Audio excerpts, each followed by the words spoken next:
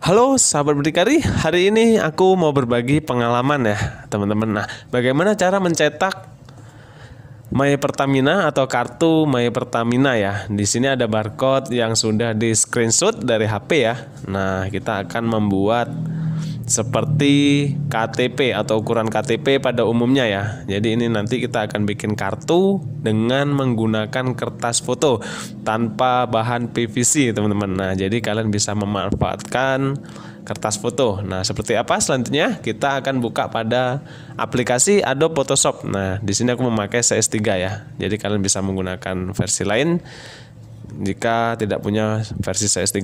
Oke, aku akan masukkan pada Adobe Photoshop ya barcode-nya tadi. Nah seperti ini, kalian klik Ctrl O, kemudian cari barcode yang kita akan ukur seperti KTP ya, ukuran KTP, dan kalian buka pada Adobe Photoshop. Nah seperti ini. Nah, seperti ini ya. Ini sudah masuk pada aplikasi Adobe Photoshop barcode-nya. Dan ini sedikit aku blur ya karena menyangkut data kendaraan. Oke, kita akan ukur terlebih dahulu atau kalian bisa menghapus birunya ini ya. Kita akan hapus birunya dulu seperti warna putih aja, teman-teman. Nah, karena dasarnya warna putih.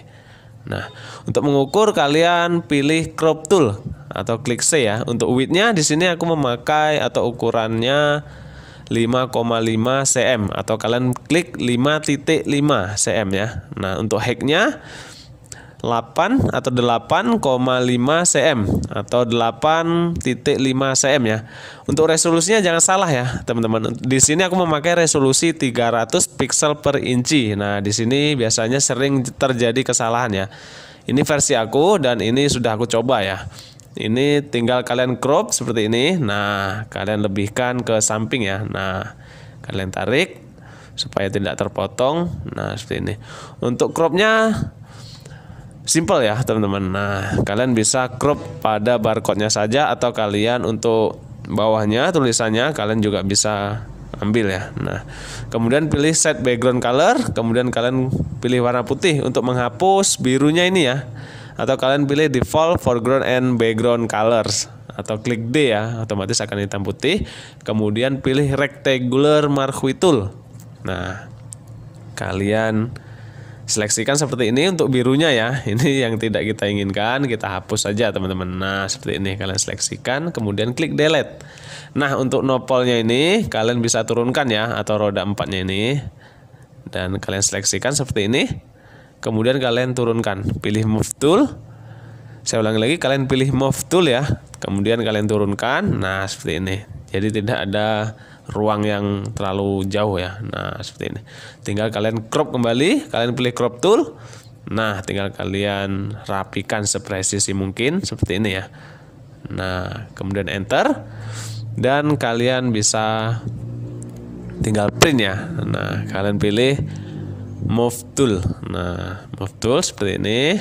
Oke, kemudian kita akan ukur pada kertas foto A4. Nah, karena ini kita akan mencetak di kertas foto A4. Kalian buat kertas foto dulu ya ukurannya. Kalian klik Ctrl N. Saya ulangi lagi, kalian klik Ctrl N untuk membuat lembaran kertas foto berukuran A4. Nah, di sini untuk name-nya kertas foto A4 ya, karena ukurannya A4. Nah, untuk widthnya 21 ya cm. Nah saya ulangi lagi untuk widthnya 21 cm. Untuk height-nya 29,7 atau 29.7 cm. Untuk resolusinya sama ya 300 pixel per inci. Nah resolusinya 300 pixel per inci dan color mode-nya RGB color. Nah seperti ini. Ini ukuran kertas foto A4 teman-teman. Nah kemudian kalian klik OK. Nah seperti itu. Kalian bisa tinggal menyusun ya. Kalian bisa menyusun seperti ini dan tinggal kalian cetak barcode berapa piece ya. Nah, tinggal kalian tarik di kertas fotonya. Nah, kalian tarik seperti ini ya, seperti ini. Dan ini karena background dan barcode-nya warna putih, tidak ada sekat ya. Kalian akan bingung untuk mengguntingnya ya, teman-teman. Nah, jadi kita akan blending sampingnya ya, biar supaya ada sekat atau ada pembatas biar supaya kalian enak memotongnya ya. Nah, oke. Okay.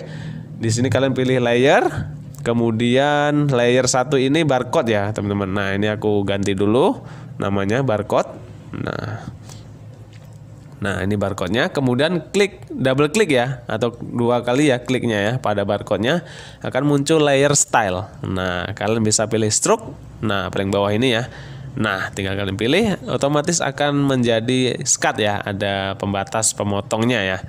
Nah, seperti ini. Kemudian untuk warna atau ukuran sekatnya, blendingnya, kalian bisa mengatur ya. Nah, untuk warna kalian pilih color, terserah ya kalian pilih warna apa untuk sampingnya. Nah seperti ini. Kemudian klik OK. Nah kemudian kalian klik OK. Nah untuk size nya kalian bisa atur ya kalian bisa menambahkan seperti ini.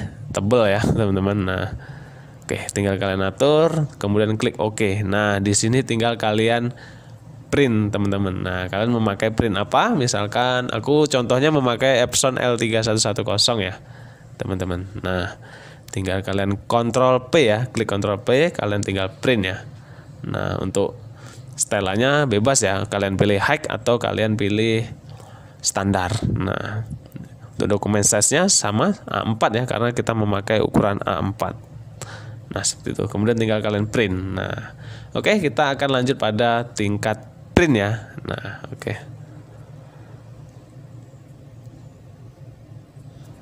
Oke, baik teman-teman. Nah, di sini aku lanjut pada tahap pencetakan ya atau print. Di sini aku memakai printer contohnya Epson L3110 dan kertas fotonya jangan salah ya, teman-teman. Uh, di sini aku memakai kertas foto jenis Spectra atau mereknya Spectra ya dan ini silky dan yang permukaannya kasar teman-teman. Nah. Nah seperti ini yang permukaannya kasar dan ini kertas jenis spektra ya. E, jelas ya teman-teman. Nah seperti ini. Untuk merek lain saya tidak bisa bilang ya atau nggak nggak bisa merekomendasikan. Dan ini berdasarkan pengalaman aku sendiri dan aku sudah mencetaknya dengan memakai kertas foto merek Spectra yang bertipe silky atau permukaan yang kasar ya teman-teman. Nah oke okay, baik. Aku memakai kertas potongan ya atau kertas sisa. Jadi kita bisa memanfaatkan kertas sisa ini teman-teman. Nah jadi untuk kartu ini masih cukup ya. Nah ini masih cukup. Kartu dengan ukuran atau barcode My Pertamina ya dengan ukuran KTP atau kartu yang pada umumnya. Oke teman-teman Baik, kita akan lanjut proses print ya. Nah, usahakan sepresisi mungkin untuk posisi kertasnya. Mode printnya kalian bisa pakai high atau kalian bisa pakai standar ya. Nah, jadi aku memakai Epson ini dengan tipe Premium Presentation Paper Matte. Nah, itu setelan aku sendiri ya Nah, dan aku memakai high walaupun keluarnya atau hasilnya agak lama ya keluarnya ya. Tapi insyaallah hasilnya high ya. High. Hasilnya juga memuaskan dan ini sudah aku coba beberapa kartu ya, sudah tidak terhitung teman-teman untuk pelanggan saya dan itu ada kepuasan tersendiri pada pelanggan saya ya dan tidak ada komplain ini cepat rusak bang ini cepat luntur bang nah, sampai saat ini belum ada ya teman-teman. Nah seperti itu. Jadi kalian hanya bisa memanfaatkan kertas foto spektra ya tanpa bahan PVC. Nah, kalian bisa memanfaatkan kertas foto seperti ini. Nah dan ini hasil yang kita setting tadi teman-teman. Ini sudah ukurannya dalam bentuk atau dalam ukuran KTP pada umumnya ya. Nah seperti ini. Oke, nanti kita akan lanjut pada pembuatan pada video selanjutnya ya, bagaimana cara finishing menjadi barcode My Pertamina seperti KTP keras seperti itu. Oke, pantau selanjutnya teman-teman.